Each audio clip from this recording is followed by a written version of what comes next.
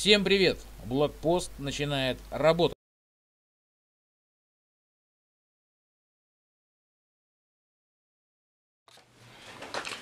Всем привет! Итак, процесс сборки и окраски нашего полка завершен, и мы с вами подошли к вопросу о базировании наших солдатиков. А подставки, как известно, бывают индивидуальные, а бывают полковые. Сегодня мы сделаем полковую подставку, точнее я, я расскажу о том, как я делаю эти самые полковые подставки. И для этого нам потребуется вот такая вот штука. Это а, доска для лепки, ну вот, например, в таком формате. Так, что такое, что такое доска для лепки? Доска для лепки это лист пластика, достаточно толстого, примерно миллиметр толщиной. А, может быть белого цвета, реже встречаются, например, зеленого цвета. Вот, формат э, этой доски также может быть любой. Вот здесь А5, ну лучше, конечно, покупать А4. А, продаются такие доски в магазинах э, канцелярских. А, стоят, ну, не такие уж большие деньги. Ну, в данном случае, видите, здесь набор со стеками, хотя, конечно, эти стеки не особенно нужны. Ну, с другой стороны, куда-нибудь может пригодятся. Пусть пока лежат. Есть не просят. Снимем пленку. Значит, чем хорош а, данный пластик? Он очень хорошо режется, обрабатывается, а, к нему все прекрасно клеится. Вообще это самый удобный и дешевый, на мой взгляд, материал а, ну, в своем сегменте. А, кроме вот таких вот а, досок для лепки толщиной около миллиметра, бывают, продаются там же доски для лепки тонкого пластика, такие очень гибкие, ну где-то там доли миллиметра. Я вот такие вот, значит, такой пластик я вам не рекомендую брать, потому что он плохо клеится ко всему. А, он очень гибкий, большую подставку хорошую из него не сделать. Ну, в общем и целом, для каких-то нужд он может подойти, но для наших нужд, я, для своих нужд я это не беру. А, я имею в виду изготовление командных подставок. Ну, сам процесс разметки не представляет ничего с собой сверхъестественного и сложного. А, здесь все, э, все обычно. Берем э, какое-то приспособление для письма, берем линейку или треугольник, размечаем и дальше Э, начнем это дело резать.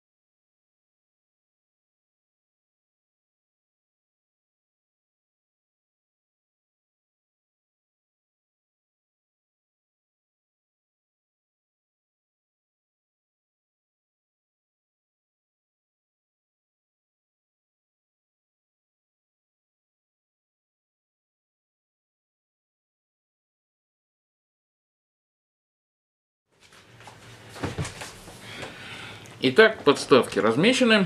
Можно начинать а, резать пластик. Пластик режется хорошо, ну, понятно, что основные приемы работы с пластиком, они всегда, как и с ПВХ, одинаковые. Не надо стараться форсировать э, и пытаться отрезать все сразу за один раз. Лучше провести несколько раз ножом и аккуратненько все отделить. Значит, берем нож, какой у вас есть, какой вам нравится по руке. Ну и, собственно, начинаем нехитрый процесс. Ведем аккуратненько по линии разметки.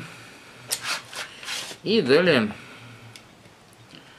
а, проведя разик, так слегка наметив эту линию, мы проводим по ней еще раз с легким нажимом, еще разочек.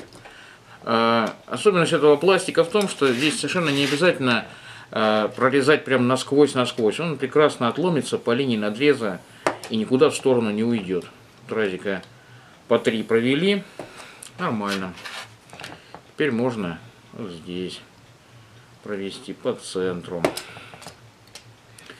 А, понятно, что если вы аккуратный человек, то у вас все получится идеально. Но если не очень аккуратный, то и заморачиваться особенно не нужно, потому что все-таки это полковые подставки, не так уж они прям критичны к миллиметру. Так, сейчас, так, отделим. Хорошо. Так, и отломим. Вот, как видите, он достаточно легко ломается. Так, ну и отделим одну подставочку, на примере которой мы и будем дальше с вами э, осуществлять процесс. После того, как вы вырезали нужное количество подставок, вы столкнетесь с тем, что края подставок э, будут иметь ну, в результате отрезания э, заусенцы, какие-то острые грани достаточно, местами неровные. Вот, и края подставки нужно обработать. Делается все достаточно просто. Берется нож, тот же самый, и э, аккуратно, с небольшим усилием, вы проводите по грани подставки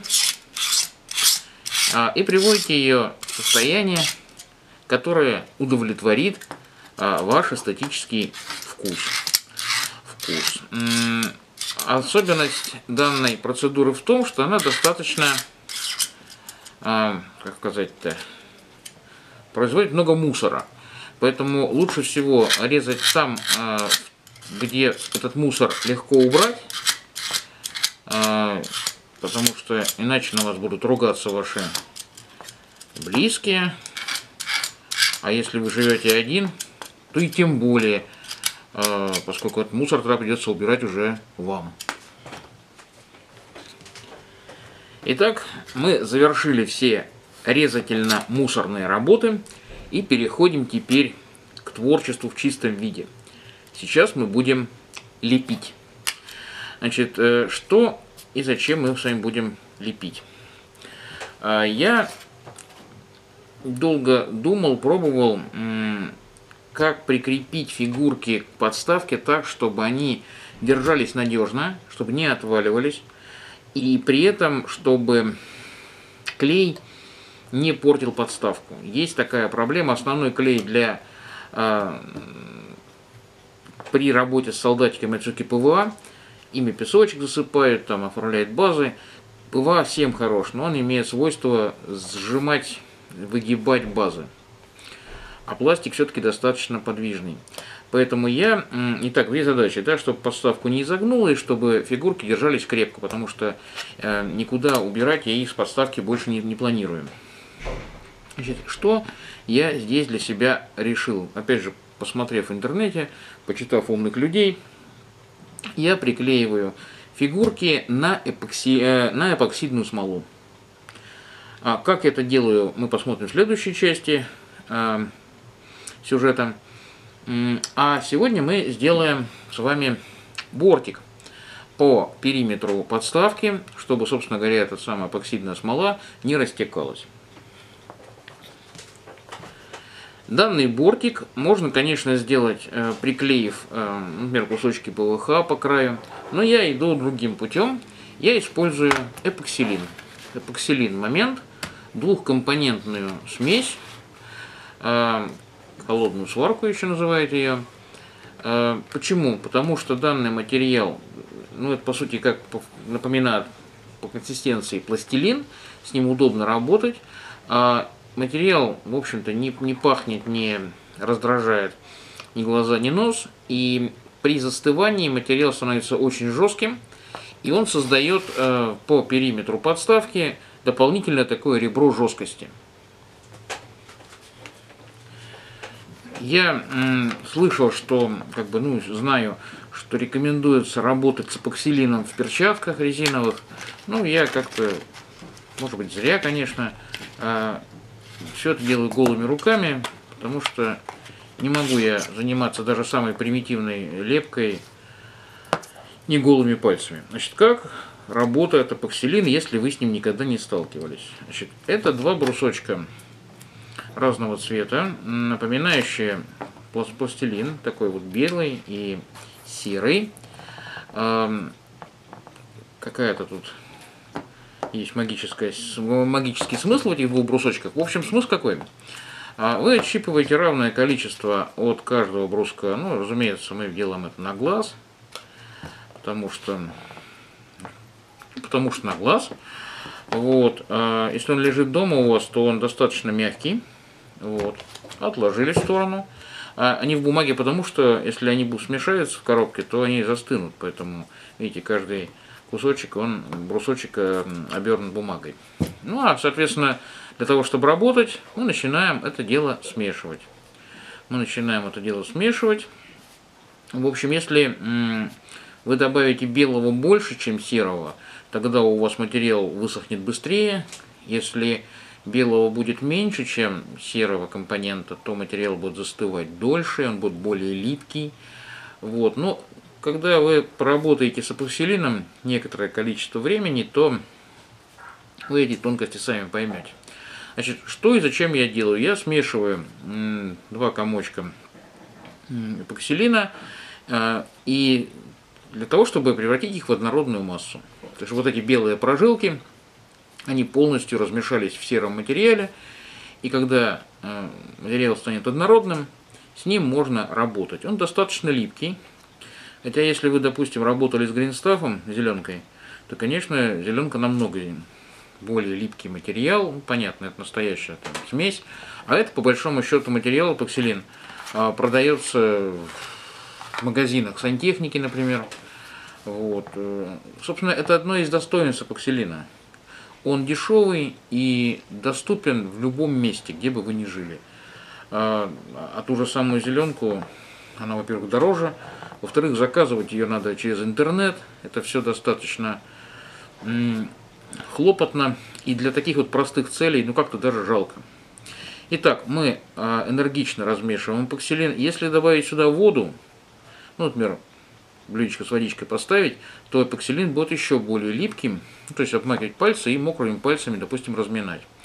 Вот. Но я в данном случае это делать не буду. Да, сразу хочу предостеречь вас не использовать слюну, а то так прям тянет, знаете, пальцы облизать. Поскольку материал все-таки химический, то для здоровья это не полезно. Так, обрабатываем материал. И ждем, когда консистенция достигнет нужного состояния.